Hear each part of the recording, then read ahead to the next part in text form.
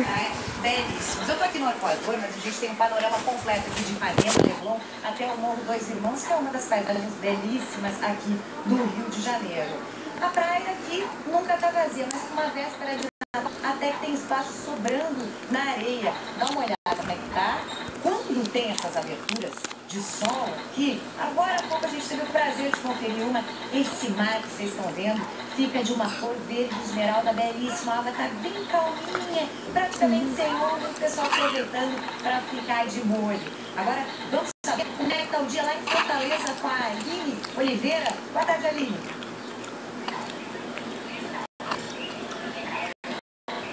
Boa tarde, Larissa. O dia por aqui está uma delícia. 31 graus e muita gente aproveitando esse dia 24 de dezembro na praia. Esta é a Praia do Futuro, a mais movimentada aqui de Fortaleza. Este ano não tem feriado no Natal, mas muita gente que está de férias já começa a chegar por aqui. A ocupação dos hotéis é de 80%. O Ceará é um dos estados mais procurados pelos turistas. A expectativa é que nesta alta estação, mais de um milhão de pessoas venha para cá. Isso é muito bom para a economia. A estimativa é de que cada visitante gaste em torno de dois mil reais nessa alta temporada. Muito bom, todo mundo ganha e o turista também fica feliz. Sandra, Feliz Natal! Para você também, Aline. Feliz Natal para todo mundo. Olha, uma invejinha boa daqui, viu? Bom, a gente já viu como está o tempo agora em alguns lugares, então a gente vai saber qual é a previsão para agora à tarde. Juliana Marques, boa tarde para você. Boa tarde para você também, Sandra. Boa tarde a todos. Eu começo justamente pelo Nordeste. A gente acabou de ver aí Fortaleza, né? Com a Aline Oliveira, previsão do sol o dia todo por lá. Pois é, só que entre Natal e Salvador, nessa faixinha verde aqui, ó, aí pode chover. Também só aquelas pancadas de chuva rápidas que não atrapalham em nada o banho É. por lá. Ou seja, véspera de Natal para quem escolheu as praias do Nordeste para pegar um bronzeado. Bom, se bem que aqui no litoral do Sudeste tá bacana também, tá Você descascou o chocolate seu, meu filho? é mais pro Você tá comendo chocolate? Comeu já, meu filho? Que isso? Já comeu? Grande parte aqui do centro-oeste, do sul e do sudeste do país. Tempo firme mesmo o todo. Só que olha, extremo sul do Rio Grande do Sul, também entre o Espírito Santo, parte do Goiás, Tocantins e do Sertão Nordestino. As temperaturas ficam? Quente, né? Por todo o Brasil. Olha só, Florianópolis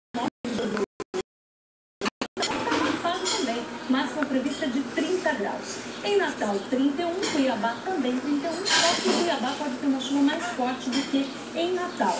Em função de temporal, máxima de 32 graus, e isso está valendo também lá para Belo Horizonte, com até 33 graus agora à tarde, bem abafado. Você falou à tarde e à noite. Bom, à noite a gente separou algumas capitais para falar como é que vai ser né, a noite do Natal. Continua abafado também à noite na maioria das regiões. Então tá aqui a previsão para as 9 horas da noite. É um horário né, que muita gente ou está saindo de casa ou até já chegou onde vai fazer o Natal. Então, começando por São Paulo, aqui, olha, 24 graus, né, com possibilidade de chuva. Pode ser uma chuva até com raios. Rio de Janeiro também, temperatura aí na casa dos 28 graus, só reforçando às 9 da noite. Pancadas de chuva por lá também. Brasília, 25 graus lá não, né? Com tempo firme. Salvador, 24 graus. E uma chuvinha também. Já em Fortaleza, 27 graus às 9 da noite. Eu reforço o horário, tá abafado mesmo. Isso é Imaginando a noite vai ser assim. Vai ser amanhã, então. Curitiba agora. Curitiba, Sandra, é uma das capitais mais fresquinhas. 22 graus hoje, com chance grande de chuva forte. Porto Alegre, 25 graus. Goiânia, 27. Manaus, 24. Belém, 25 graus. 22 Goiânia com tempo firme. Manaus e Belém, aí com 24, 25 graus. Agora eu vou caminhar. Vamos pra lá. Agora, amanhã, a gente tem mudança no tempo, Sandra. Pode chover e pode chover bastante, até mesmo em lugares que hoje estão com tempo mais frio. Então, previsão de bastante chuva aqui na fronteira, olha, do Brasil com o Uruguai, região de fronteira ali no Rio Grande do Sul. Hoje, por lá, também com mais virado no tempo para Pelotas, para Rio Grande, também para o. Amanhã pode chover bastante vento, olha, em parte do sul da Bahia, de Alagoas, de Pernambuco e da Paraíba. Agora, nas outras regiões do país, fica mais ou menos parecido com hoje, né, Sandra? Ó, Feliz Natal para você e para todo mundo. Super Natal para você. E um ótimo ano para nós. Pra nós, obrigada. Agora eu mudo um pouquinho o clima das nossas notícias. Madrugada de na cidade do Rio Grande do Sul.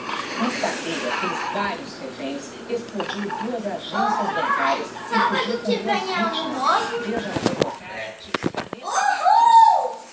A imagem da câmera de Vai ser dia 31, sabe?